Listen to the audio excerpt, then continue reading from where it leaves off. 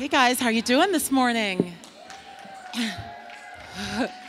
we are Cape Cod African Dance and Drum, and we are so honored to be here at Connecting for Change conference this morning with all of you who are doing so much for our planet. We want to celebrate and honor all of you guys, especially you young folks who are beginning to think this way, beginning to work for the planet. We are so happy and so honored that all of you are thinking and working towards changing our world. And actually, whenever I come to this conference, it gives me truly, it really gives me hope for the world. So keep on, keep it on, you guys, and don't stop and don't ever get discouraged. You guys are our leaders, you are the future. We offer our African dance and drumming today to our Mother Earth. We honor our Mother Earth. We love her. She gives us everything. We offer all of our love and our joy to our Mother Earth. The traditions that we're going to share today are from the Malinke people of Mali and Guinea, West Africa. And these rhythms and dances are so full of celebration, they're so full of life. We want you guys to feel that today for real. Feel it in your bodies. Clap whenever you want to. Shout whenever you want to. Feel the celebration, the ancient celebration of life that is these ancient Malinke rhythms. And we are blessed, very blessed today to have a master drummer with us from Mali, West Africa. Let me introduce Isa Koulibaly.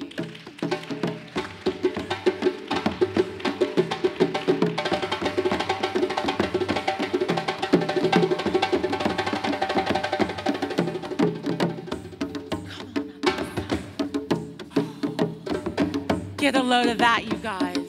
Isa, show them a little bit more of what you got there. Lay some more rhythm on us. You just get the chills when you listen.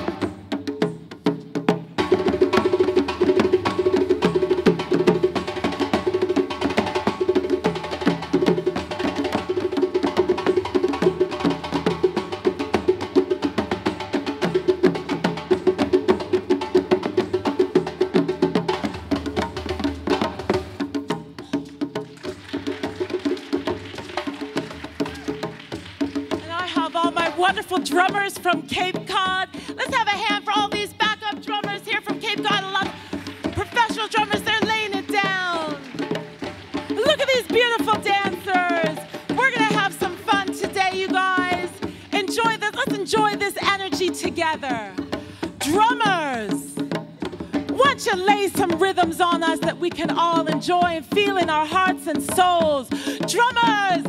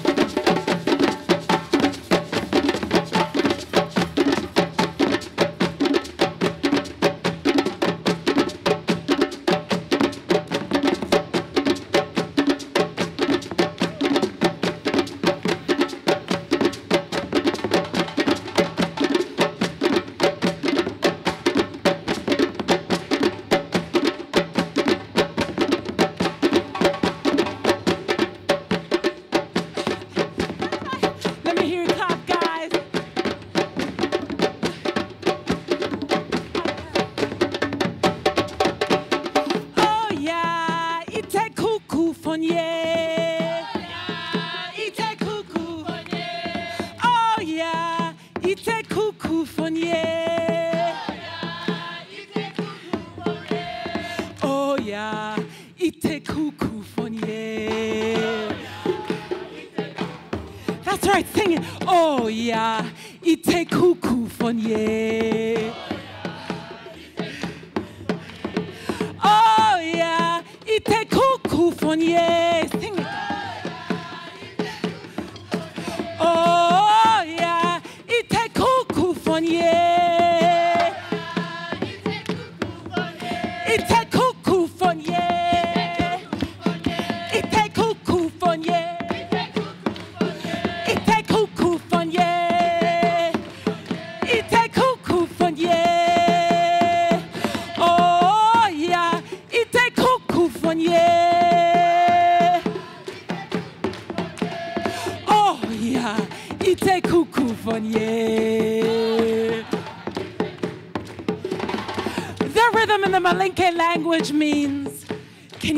It means? It goes something like this Hey, drummers. Hey, drummers. Come on. Get that rhythm going for me. Drummers, get that rhythm going for me. So I can feel happiness. So I can feel that happiness in my soul. Come on. Come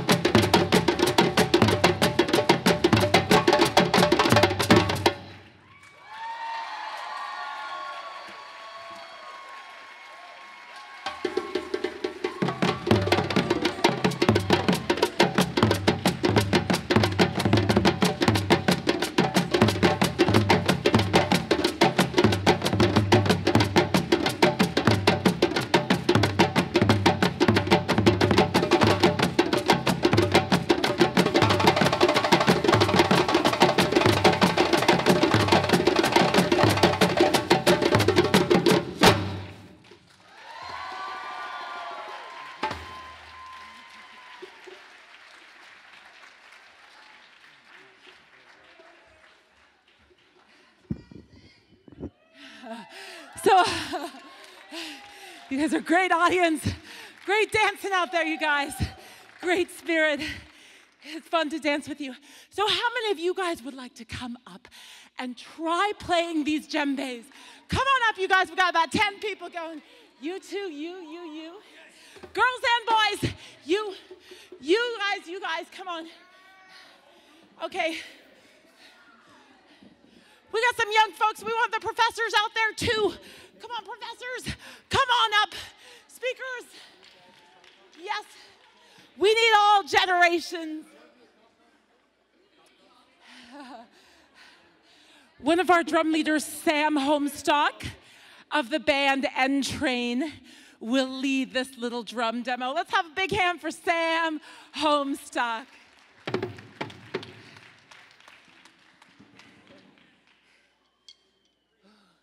We may not have enough drums for everybody. Uh, yeah, yeah. So you guys out there can clap, you can drum on your thighs, drum on your chairs, drum on the ground. You actually don't even need a drum. Just beat out the rhythm somehow. Feel the pulse in your heart. You guys can follow along with Sam. Okay.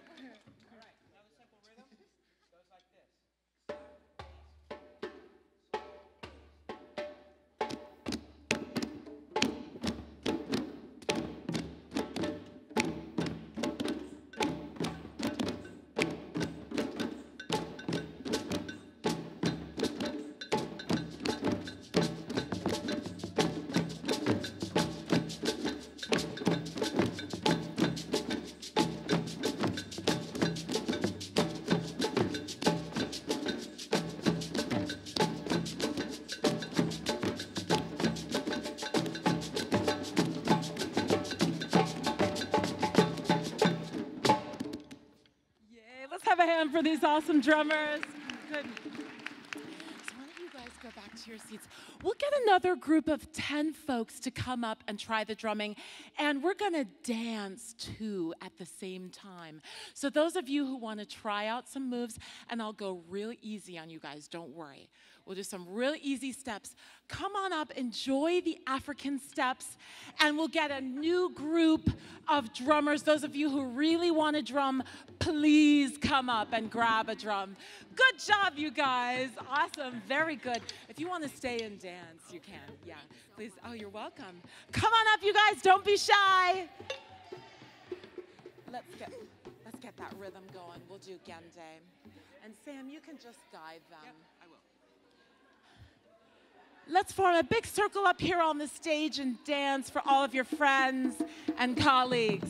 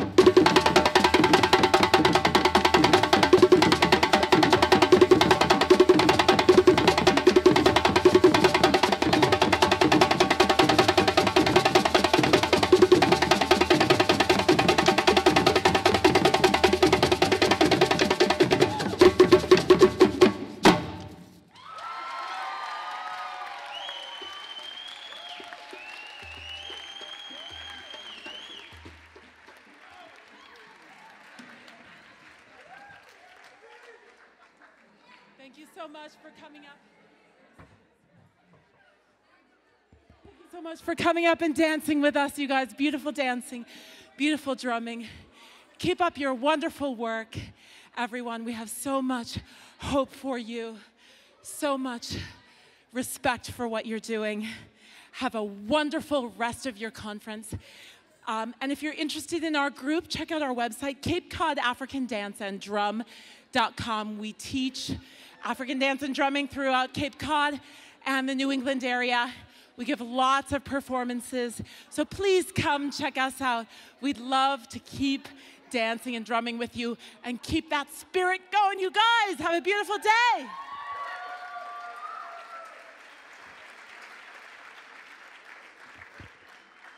I think, we, I think we can do better than that. Let's give them another big hand for Cape Cod African Dance and Drum.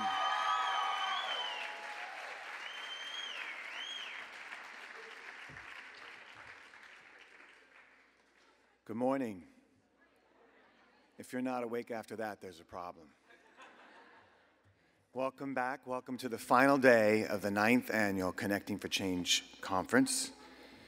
I'm Callum Grieve. I'm a board member of the Marion Institute a nonprofit organization that seeks root cause solutions to some of our most pressing social and environmental challenges. And Connecting for Change, for any of you who are just joining us this morning, is our annual gathering of social and environmental innovators who are forwarding visionary yet practical models for deep and positive change. Now, Connecting for Change is, is one of our programs, and while the Marion Institute is the organization at the heart of this conference, there is an ecosystem of organizations who offer us generous support and help to make this happen. So I want to thank these organizations now. They are UMass Dartmouth, the Center at Westwoods, the Southeastern Environmental Education Alliance, Chelsea Green Publishing, Rainforest Maker, Arjuna Capital and Baldwin Brothers, and of course, Bioneers. Let's give them a huge hand.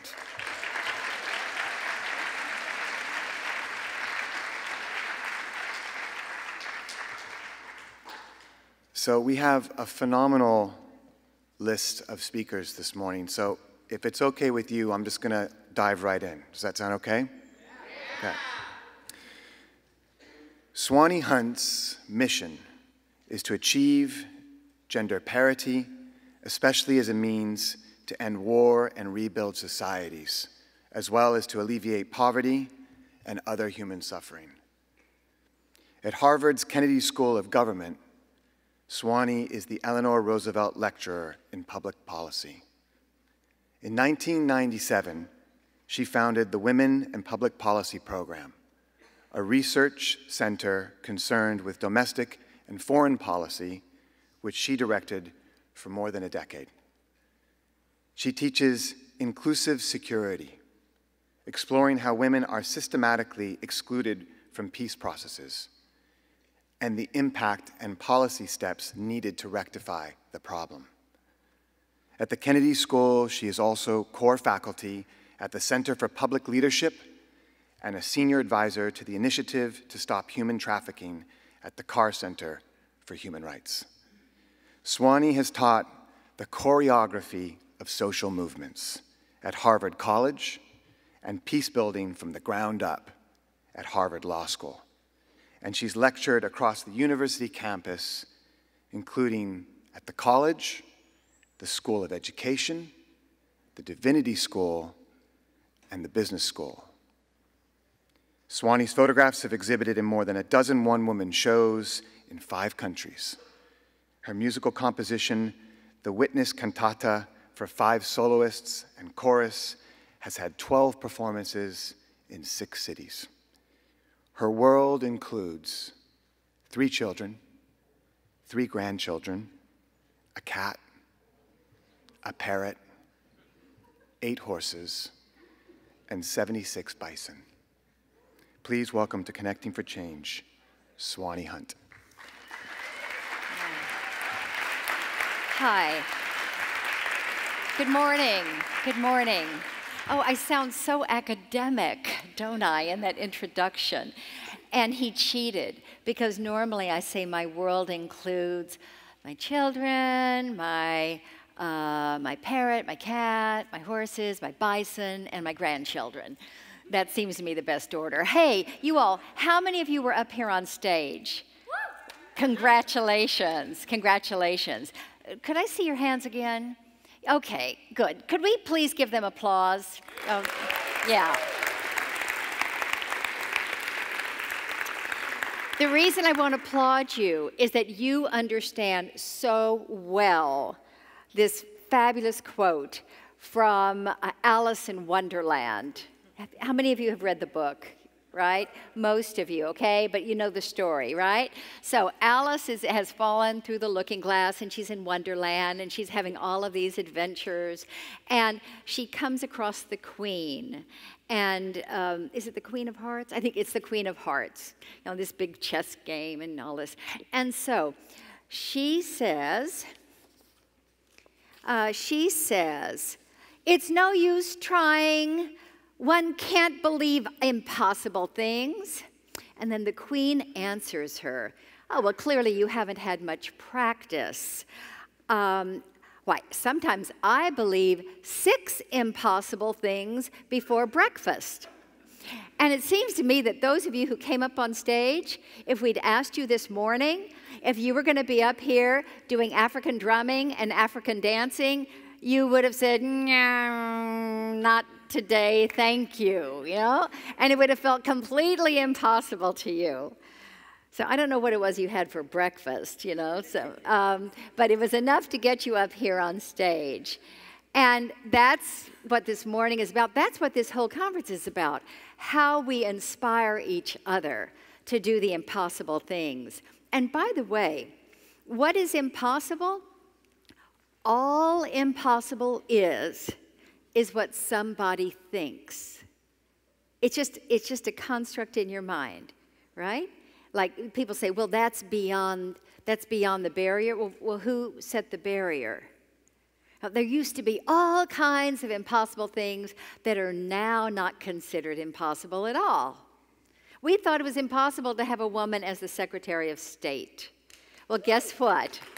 Yeah. Guess what? John Kerry, our senator, is the first white guy to be Secretary of State in 20 years. It's been all women and an African American man. And that, I'll tell you, because I was in foreign policy uh, at the time, and when Madeleine Albright, you know, I mean, President Clinton said to me, What do you think? What do you think? I could appoint this white guy, or uh, I could have you know, Madeleine Albright. I said, hands down, Madeleine Albright, you know? And, and it wasn't because I thought she was better on foreign policy. I just thought we got to break this ceiling. We've just got to. And I'll tell you why I thought that. You know, every one of you has your life experiences that you that you relate to and you have a spine of life experiences and, and they really create who you are and they, they, they determine how you walk in the world well I have two life experiences that were that important to me. One was when I was 29. How many of you are under 29? Aha. And shall I ask how many are over? I don't have to. Okay. You see, I go to Harvard, I can figure this out. Okay. So you have this kind of experience ahead of you. So, here I am in Dallas, Texas. Those of you who are over 50 understand that Dallas, Texas in the 70s has a certain meaning. Very, very conservative, not just politically, but just in, in the way the world works. So, uh, I am an owner of an oil and gas company, and the vice president of the company says, or I say to him, Hey, Tom, we should have lunch. He says, Swanee, let me know next time you'll be in town because I'm living in Denver. So I do, and he says, Great. And he said, I'll make a reservation. I said, You don't need to, I'll make the reservation. Oh, no, Swanee. No, Tom, I'll do it. So day comes, and I say the reservation is in the Petroleum Club. Now, the Petroleum Club is a place that uh, heads of petroleum, you know, oil and gas companies go and they make their deals. It's kind of like, kind of like politicians on the golf course or students stu sitting around in the student lounge. That's where the most important transactions happen, not in the classroom. Okay, so uh, we go up the elevator. It's a real tall building, and we go up the elevator. Doors open. And there is a tall African American man in a red coat. And he says, Hello, good day. I have a beautiful table for you over here by the window in the ladies' dining room. The, the laugh came from people over 50. because it used to be that any kind of institution, a professional institution like this, almost any kind, was segregated. Not the way you think. It was even segregated in terms of where women could go and where men could go. For example, the US Senate didn't have a women's bathroom during this time because they didn't expect women to be in the Senate. That gives you some kind of sense of the culture. Okay, so we're up there, and I say, Oh, no, um, thank you, I reserved a table um, in the main dining room. Well, if you have a name like Swanee, nobody can tell if you're a man or a woman, right? It's one of the few advantages. So Tom's getting nervous.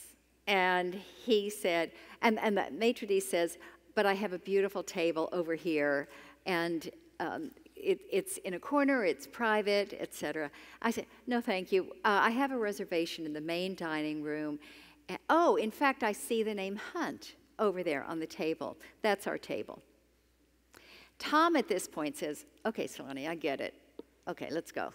I said, no, Tom, I have a table in the main dining room. Those of you over 50 remember that we were doing training in this. We actually were. We would train so that we would say the same thing over and over. We would stay calm. It was kind of like what's happening, you know, uh, with Martin Luther King, with training in the church basements to, to be, you know, nonviolent resistance. You just say the same thing over and over. You sit down um, in the Walgreens, uh, at the bar of the restaurant, and you just sit there and wait for someone, you know, if you're African American, and you wait for people to not serve you, that kind of thing. Okay, so same thing.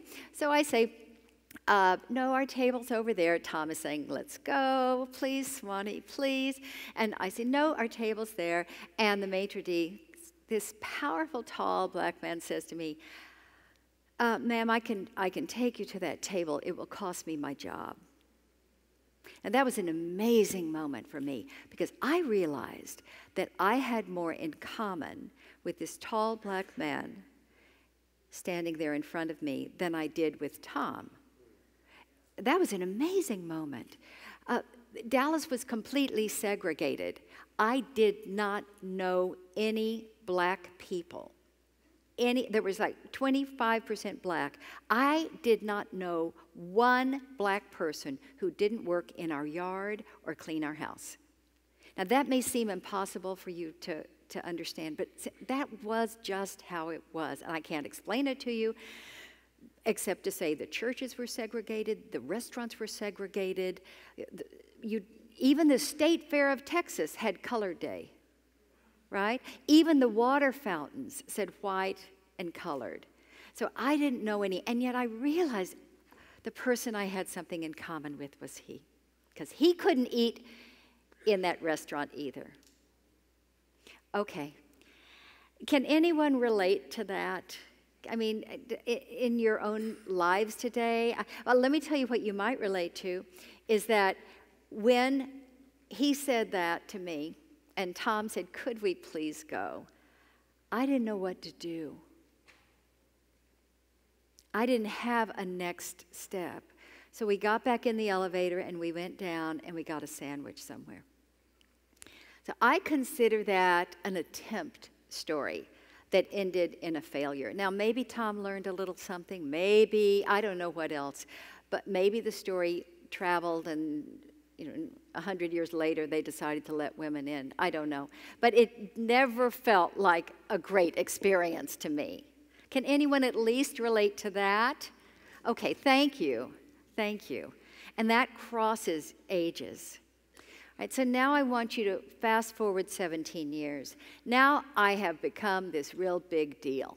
I have become the U.S. ambassador to Austria, and that means I'm full time overseeing an embassy in Vienna with 500 employees. We're working in 21 countries. Actually, from there, we have the largest intelligence operation in the world because we've been spying on countries, you know, all across the Soviet Union, et cetera. The Soviet Union has fallen apart. It's a time of tremendous turmoil. Countries don't know which way they're going. Are they going to stay communist? Are they going to follow the West? It's just a mess. And there's this secure place called Vienna that juts out into Eastern Europe, even though it's part of Western Europe. Okay. So to our south is this large country, Yugoslavia. And Yugoslavia has come to be headed up by a tyrant who is later indicted as a war criminal. Well, all the states are breaking up uh, inside Yugoslavia. One of them is called Bosnia.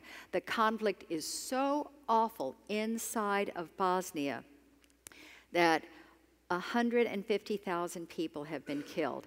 It is like Syria, which you've been following on the news, except it's a country of about 4 million people.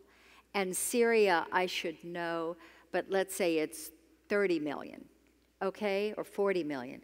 So this is a, a really small country. So this is like, this is like um, Eastern Mass, 150,000 people killed. Can you, can you get that? And that's killed. That's not people dying of heart attacks or people dying of cancer. I mean, they're killed, they're shot, they're blown up.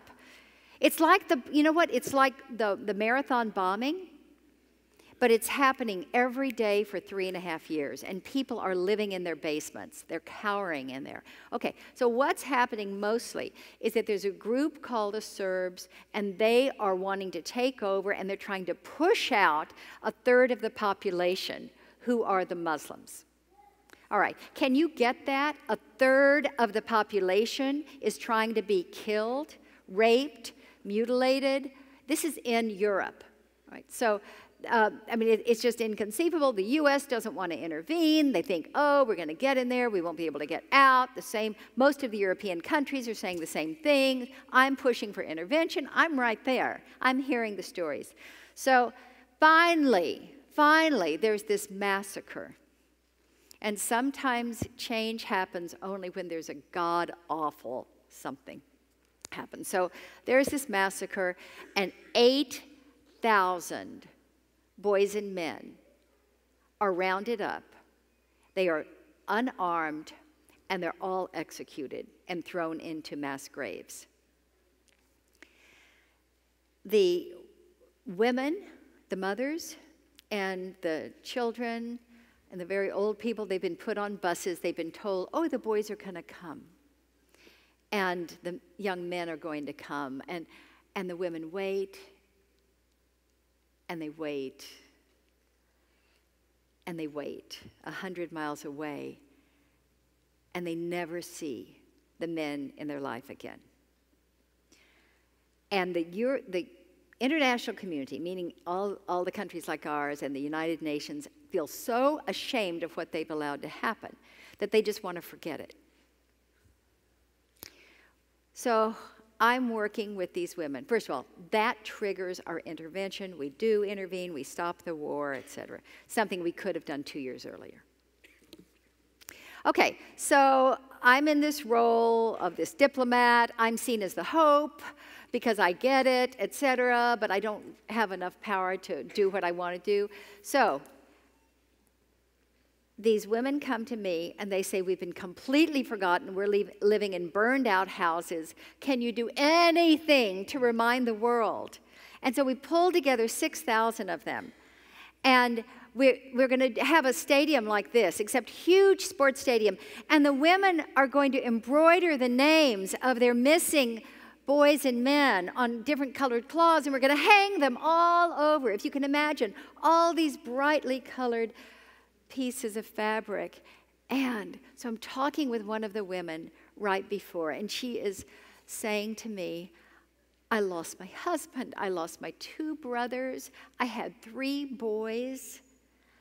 And I know the others may be dead. I've heard the stories, but, but my youngest son, he was the fastest in his class. He was the fastest runner in his class. And I know that he was able to run into the woods. I know it. And he's in the woods right now, and he doesn't know the war, the war is over. And I have to say to her what I had been told by a general. For this gathering, where you have Queen Noor from Jordan flying in and all these other officials from the UN, we will not provide you security. And security is key in case there's a Serb attack. We will not serve, uh, provide you security unless you invite and have the mothers of the men who committed the massacre because we want to be fair. So I'm saying to this woman who is shaking like this, I'm saying, I'm, I'm, my heart is with you. I'm crying, okay?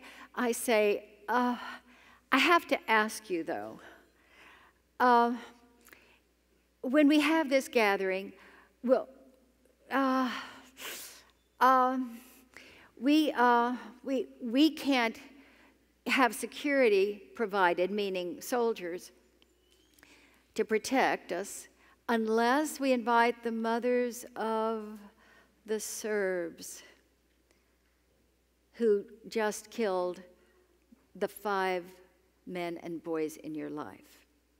And I'm thinking, oh, what do I know about trauma?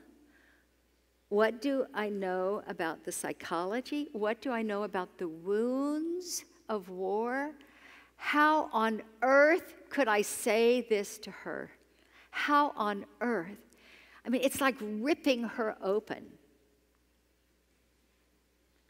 And she looked at me and she said, Ambassador Hunt, we're all mothers.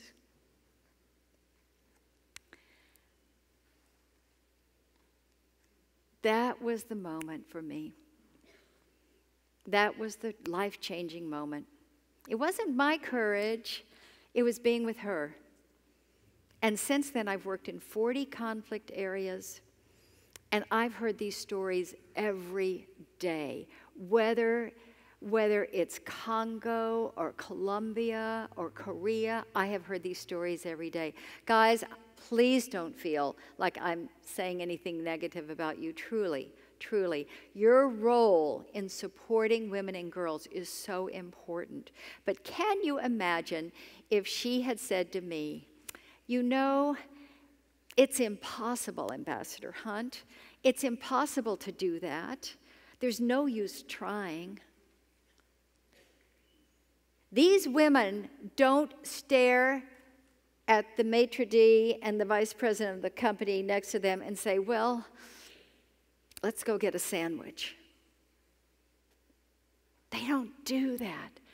They're much more courageous than I will ever be. Much more. But I, I have taken those experiences and I've put them into an impossible situation that I feel good about that relates so directly to you. It's about stopping prostitution. People call it sex trafficking. I don't know why that makes them feel better. It's really prostitution. And guess what? You have a choice about how you're going to attack this.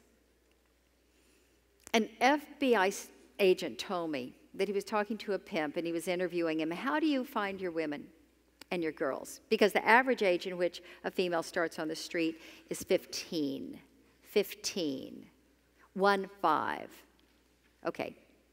So he says, I go to a mall and I look around and I find a girl walking by herself. Okay, those of you, women and girls, you understand that that, that has meaning, a girl walking by herself. Guys, we don't go to malls and walk around by ourselves. That is a social event. We do it with another girl, okay? So I, I go and I find a girl walking by herself. And I say to her, Hey, you have beautiful eyes. And if she looks me back in the face and says, Thank you, then I just keep going. And then I look for the next girl walking by herself and I say, Hey, you've got beautiful eyes. And if she looks down at her shoes and says, No, I don't, he said, I know I've got her. So, are we going to be able to stop having girls walk in the mall and look at their shoes and say, No, I don't? I want to, I hope to. That's the supply for the prostitution. She gets picked up in about 48 hours from the time she has run away from home. So we can try to staunch the supply, and there are a lot of great groups doing that. We can try to, to stop the pimps, that's the distribution system. Supply, distribution, what does that leave in economic theory? Supply and demand. Thank you. And we can say, no, actually, we're going to stop the demand. Say what? You know, the demand, the buyers. What? I mean, boys, you know, boys will be boys. You know how many men and boys say that they have purchased? About 15% have purchased the body of a woman or a girl. 15%. Do you know what that translates to in the United States? It's about 15 million. This is not, I mean, look, I don't, I know a, a number of survivors, the women and the girls, and I probably know some pimps, but I'm not aware of it. I know hundreds of Johns. And in fact, a few of them, a very few, have told me, but you know, they're at my dinner table, they're in my classroom, they're at church, you know, they're in this auditorium. These are not, these are not just bad guys, okay? average white middle class lives in the suburbs and has children. The girl, average impoverished, black brown, much, much younger than the guy. Okay, so this is a social justice issue. And when you say we can't address it, what are you saying? What are you saying? You know that something that is this egregious we can't stop. Well, we used to say that about domestic violence. I, some of you over 50, we worked on setting up shelters for battered women. Y'all remember those? And finally, some of us said, How come they are leaving their homes with their children? What is this about? The guys stay in the home, and the women who are beating up, being beaten up have to leave. And we got some laws changed. And you know what? It still happens. Guys still beat up their partners, but it's against the law. And they're considered like something's wrong with you, guy. And that's what we're going to do. It's good for the guys to change, it's good for society to change. It's absolutely necessary for the women and girls. Yeah. So I thank you. I hear the energy, I hear the belief. And so that's what I want to close with. You know, what do we do about that feeling like, well, you know, th- this isn't really something I can at- attack, or, or, you know, I, I guess if I were in that mall, I don't know what I would say if someone came up to said that to me. Probably I'd say, well, no, I don't, or I don't know if every boy and man in my life had been killed. I, I don't know how I would react, or, or gosh, I can, I can really relate to Swanee at the, you know, at the top of that elevator. What's she supposed to do? Well, one of the things I've learned is the art of pretending. So let me close this out and sing a song that those of you over 50 know. I'll just sing a little snippet of it. It's from The King and I. And you're welcome to sing along. Whenever I feel afraid, I hold my head erect and whistle a happy tune, and no one will suspect I'm afraid. While shivering in my shoes, I strike a careless pose and whistle a happy tune so no one ever knows I'm afraid. Now, this is the best line. Are you ready? Okay. The result of this deception is very strange to tell. Sing it with me. Cause when I fool the people I fear, I fool myself as well. Okay? So that's the answer. I'm telling you. I'm telling you, when you get up in the morning and you think, what am I going to do today? Well, got to be careful. I, you know, I think I can accomplish this. I think I think I can do that. I mean, come on. Come on. My challenge to you is by tomorrow's breakfast, you think of six impossible things. Six that you're going to do by breakfast. Six impossible things, and I'm going to give you all day today to choose them. Okay, thank you all so much for letting me have you. Thank you. Thank you. Thank you so much. Thank you. Be strong. Yes. Go for the impossible.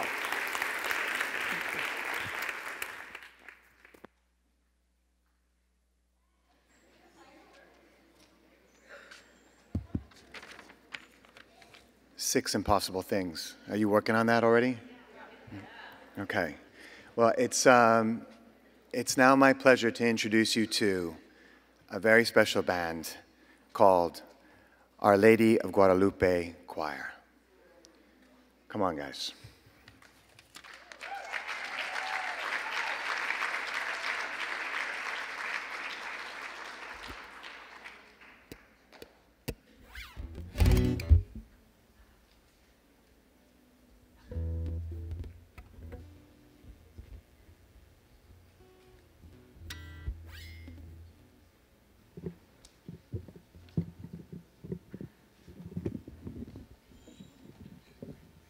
Thanks.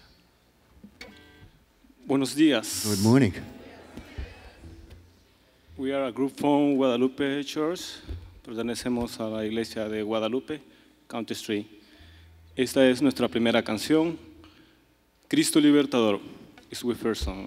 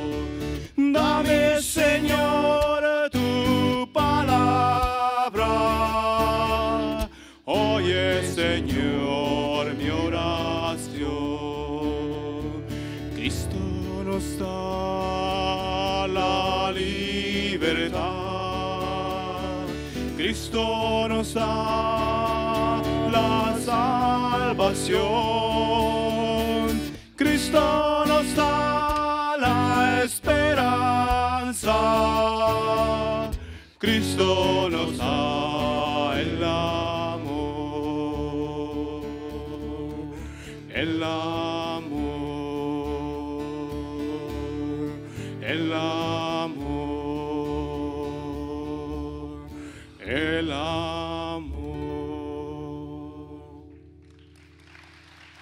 Thank you.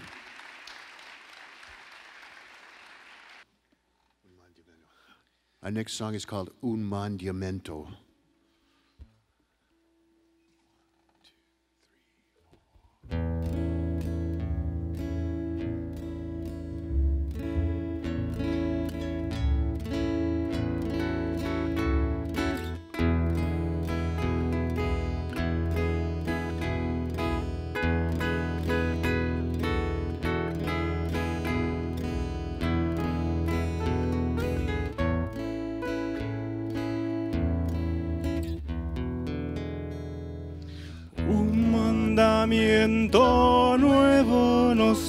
Señor. Que nos amemos todos como nos ama Dios. Un mandamiento nuevo nos da el Señor. Que nos amemos todos como nos ama Dios.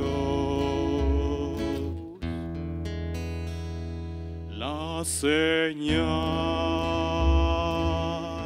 de los cristianos es amarnos como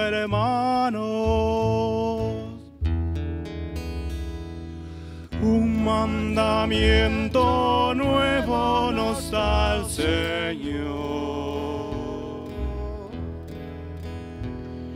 Que nos amemos todos como nos ama Dios. Un mandamiento nuevo nos da el Señor. Que nos amemos todos como nos ama Dios. Cristo luz, verdad y vida, al perdón y amor invita.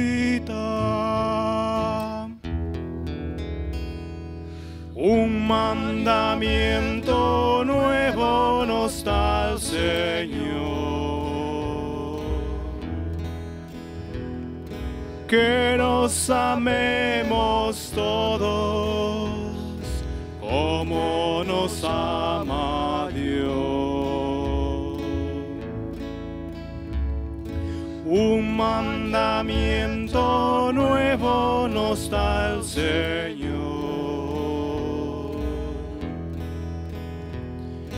Que nos amemos todos como nos ama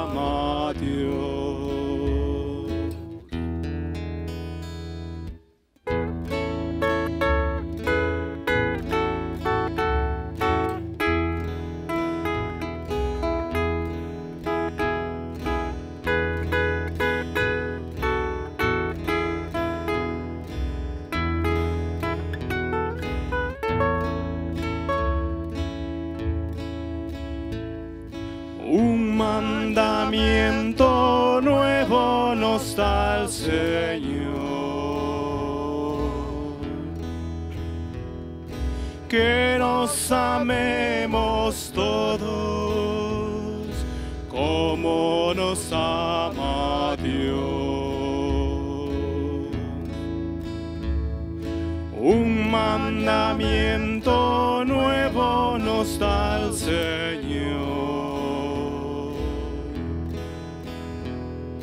que nos amemos todos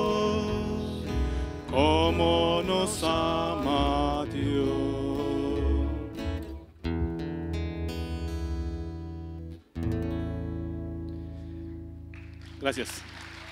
Thank you.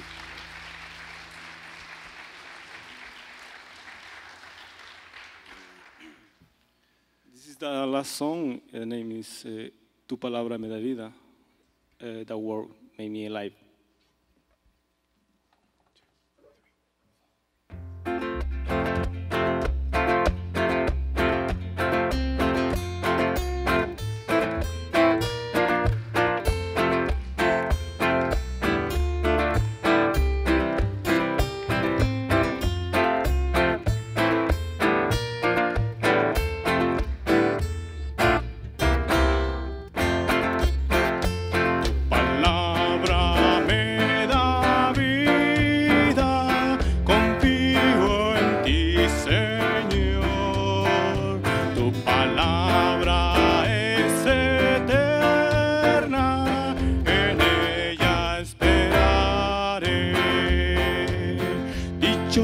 Que con vida intachable camina en la ley del Señor. Dichoso el que guardando sus preceptos lo busca de todo corazón. Tu palabra me da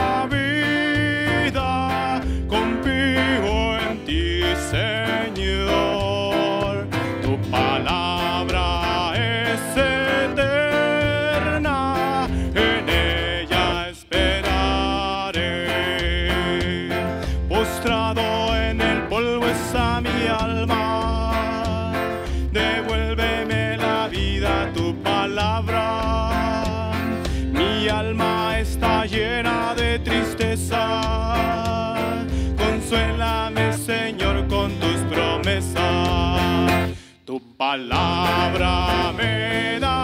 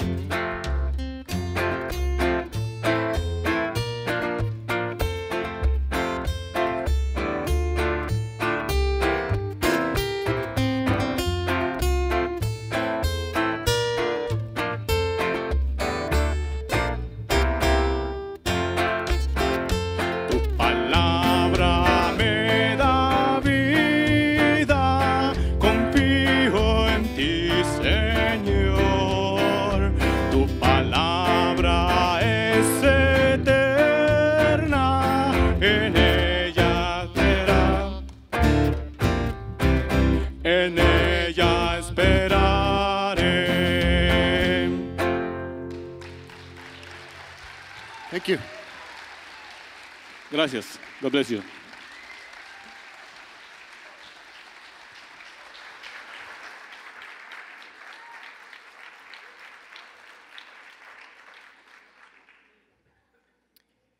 Asa Needle is a member of the staff collective of the Worcester Roots Project, a nonprofit that brings together youth and adult organizers to create opportunities for economic, social, and environmental justice. ASA works with democratic, worker controlled cooperatives, such as the youth run Toxic Soil Busters, as a model for a new economics of liberation that is autonomous, inclusive, and just. ASA works with numerous community outreach and advocacy organizations, including the Solidarity and Green Economy Alliance, the Cooperative Power, and the Stone Soup Community Center. ASA was one of the 2012 winners of the National Brower Youth Award for Outstanding Youth Leadership.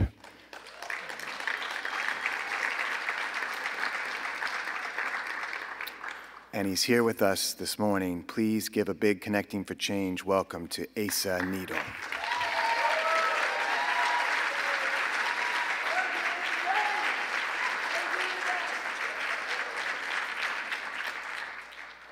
Who's already felt inspired today at this conference? Anybody? Hi everyone, my name is Asa Needle. I'm here from the Worcester Roots Project and I'm here to talk to you about some of the social and economic revolutions that are happening in my hometown, the town I love called Worcester, Massachusetts. I grew up in this city. It's a city of about 180,000 people, and it's a city that most people outside of Massachusetts haven't even heard of. And when people do know about Worcester, and when they look at Worcester, often all they can see is just another post-industrial town where the heavy industry is left, leaving behind unemployment, vacant lots, and abandoned buildings. But when I look at Worcester, I see a city ready to be on the cutting edge of a new way of doing business. And I'm not talking about some future fantasy eco city.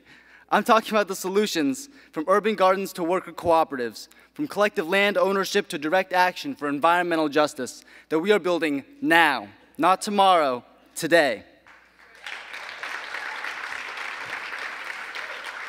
Uh, Worcester Roots Project started in 2001 when residents in the Main South and Piedmont neighborhoods came together to take a stand against these environmental injustices, specifically the lead contaminated soil that disproportionately affected the lower income neighborhoods.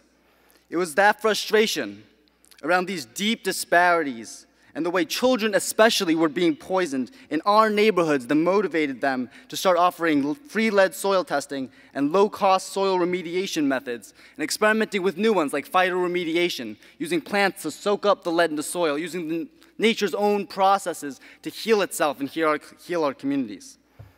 It was also one of the founding groups that rented space at the Stone Soup Community Center.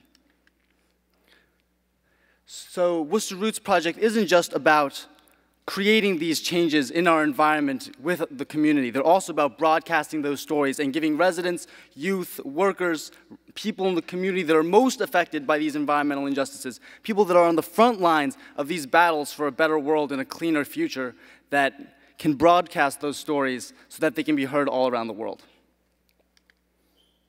And this is some of our projects here. Community-based research and social justice youth development are two of the cornerstones of the Worcester Roots Project's work. And our collaborations, including Co-op Power and many others that represent our family of organizations that we see as dedicated to building whole systems and economies that are based around new principles, not principles of competition, not principles of profit over people and the environment, but principles that place our needs, the needs of the people that live in these communities, first and not second.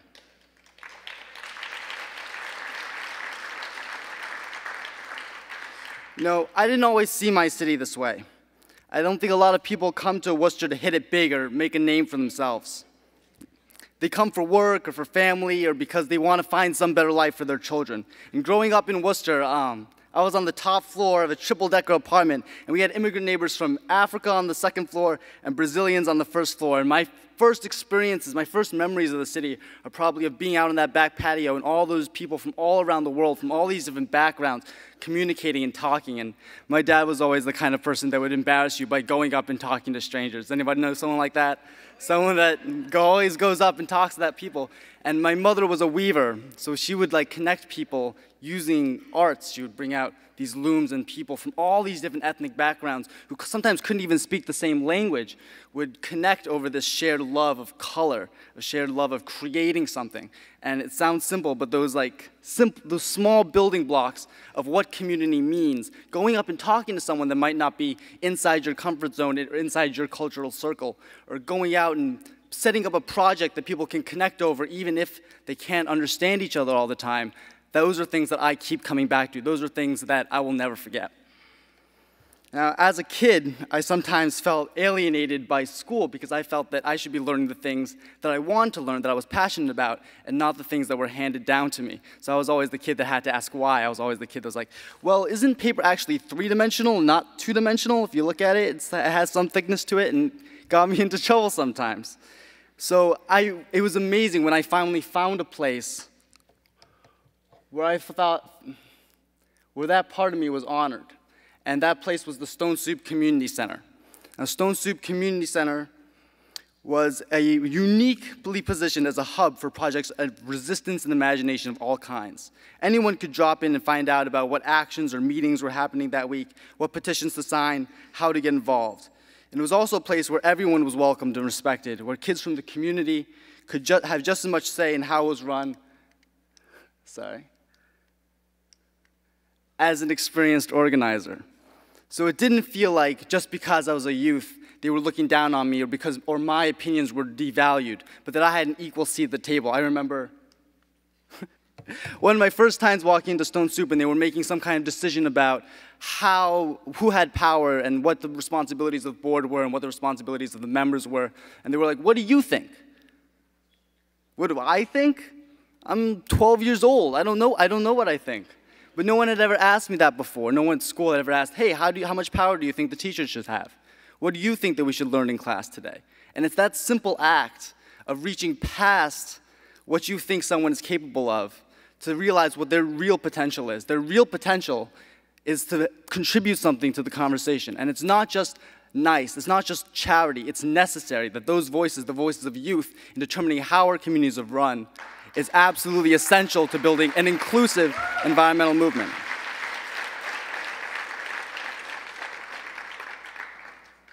So Stone Soup has a very special place in my heart. In March 2009, we had an electrical fire and completely devastated it. And it's been a long battle to reopen the building. And in that time, we've incorporated as a nonprofit, uh, bought the building in its name, and ran a capital campaign.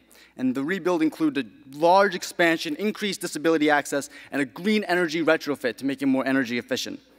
And as someone who started as a youth running around Stone Soup, getting, tripping up people that were trying to get work done in that space, to now being a board member of the Stone Soup Community Center, it's my great honor to announce that we'll be reopening this December. After four years.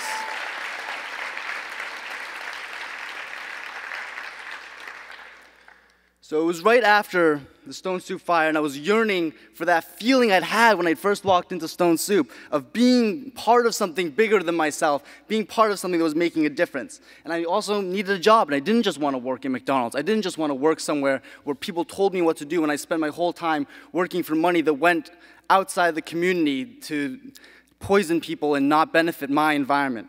So when I found Toxic Soil Busters, I was just beginning to define my own complicated political identity and feel out what like unfamiliar terms like social justice meant to someone like me growing up in Worcester.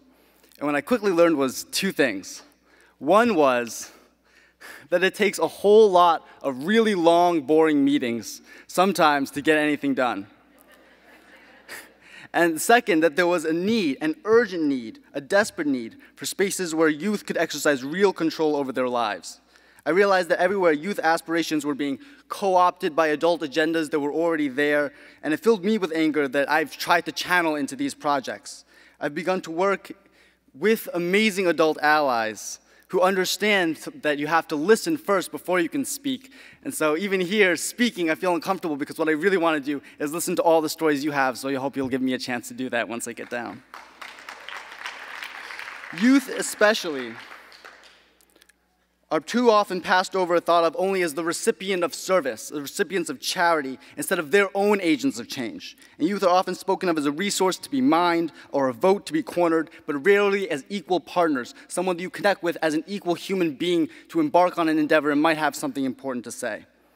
Youth voices in the media are often confined to the spectrum of acceptable debate, what is considered appropriate for youth to have opinions about having youth presence in the environmental movement is not just an issue of inclusion, it is an issue of survival. Youth are on the front lines of environmental destruction, the most susceptible to environmental toxins and pollution, the first to be displaced by freak storms caused by climate change.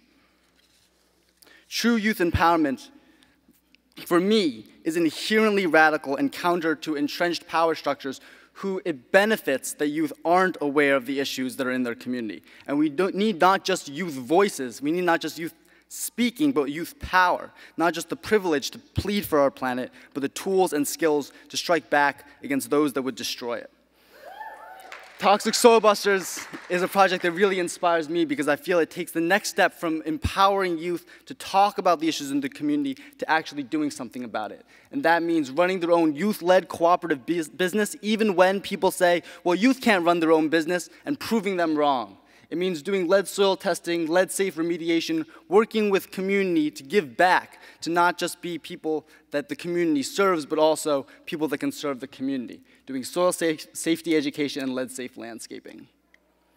This is a map of the instances of childhood lead poisoning in Massachusetts, and we see big clusters down here near New Bedford and in Worcester in the post-industrial areas and here is a map of Worcester. That's Main South, the cluster of red dots right there. Those are the neighborhoods, the people of color, low income communities that are disproportionately affected by those poisons. And that, when I see that map, I'm reminded of why we do the work we do, because these environmental injustices affect people differently based on these false barriers, and that's what we need to stop.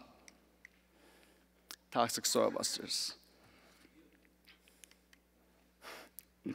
Toxic Soil Busters was modeled off of a worker cooperative model, so that means a business owned and operated by a membership where every member has equal say. And our dedication to promoting these networks of worker cooperatives comes from this, this realization that the vast majority of big businesses, big businesses owned by a few people can never put the environment or their workers before profits for long, and that cooperatives can create these democratic workplaces, jobs that stay in the community and live out the needs and wants of that community demonstration site. Us getting down and dirty, doing the work that needs to be done. So, cooperatives. Now, this fall, Worcester Roots, in collaboration with the Cooperative Development Institute, Boston Center for Community Ownership, is holding our very first Co op Academy, which is this comprehensive co-op training program which gives prospective member owners the knowledge, resources, tools, and connections, the interpersonal uh, relationships that they need to start their own business and become part of a national cooperative movement which is taking the traditional economy by storm. 20 sessions over 10 weeks include these in-depth, personalized, and participatory trainings on incorporation, finance, market analysis, group development, all those long meetings we were just talking about that it takes to make these amazing projects happen. And we support these community-minded entrepreneurs in discovering themselves as creative agents in a new, compassionate economy. And these are just some of the cooperatives that have chosen to join us, showing an array from everywhere from youth to media co-ops to landscaping co-ops to pedicab to biodiesel bus services. Now, one last thing I want to leave you with. Um, this November, we're holding a conference in Worcester, Massachusetts called the Solidarity and Green Economy Conference. So if any of the things that I've said so far interest you, or you think that a economy based upon compassion, based on mutual aid, based on caring about each other isn't just nice, isn't just something that we want to have, but something that we need to have. Something that if we're going to survive the next hundred years, we need to build these relationships between each other and not rely on corporations that have the power, not rely on governments, not rely on top-down systems to solve our problems for us. Then I'd like you to join me November 9th and 10th, and we're going to be talking about some of the solutions that people have come up with just like here in Connecting for Change, to battle these issues.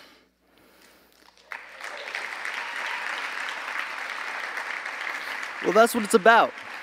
This is why Connecting for Change inspires me so much. How many people here are 18 or under? That's a significant number. That's more than you'll see of almost any other conference this size. And that's really what inspires me, bringing together young people, bringing together activists, bringing together organizers, educators, community leaders, nonprofits, anyone else who thinks that it's possible to have more equitable and fair, sustainable ways of organizing our communities and economies. That's what inspires me. So really, this isn't me trying to inspire you. I'm just one person. It's this whole room that really makes me realize that this is possible and that this is work that needs to be done.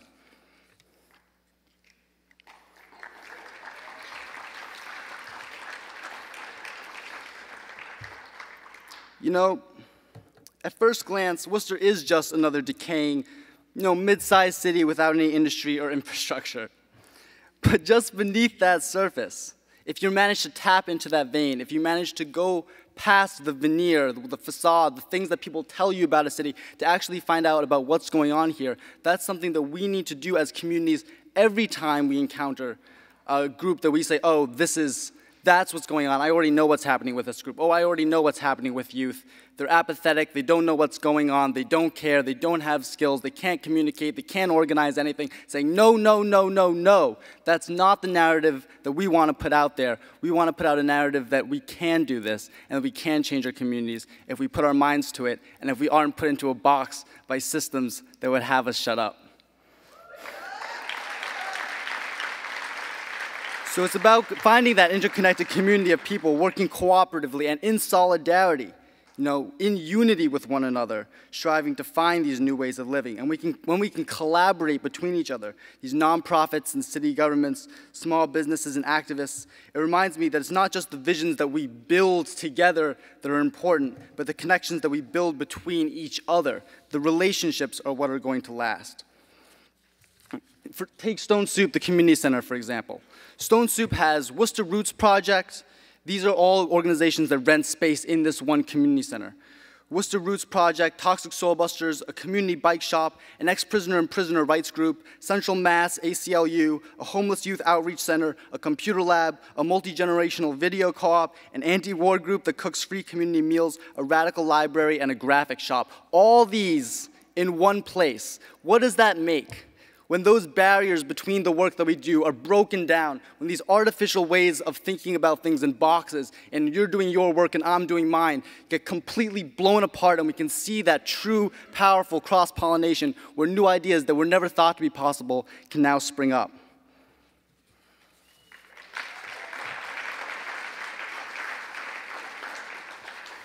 Here in Worcester, we're not just creating institutions, we're creating a culture a culture of inclusion, a culture of empowerment, a culture of sustainability, a culture that doesn't value corporations over people or their budgets over our health and safety, a culture of change and solidarity we can all own, that we can all be a part of, and that we can all believe in. And here in Worcester, we're not waiting to be told that it's possible. We're not waiting for the government to do it for us.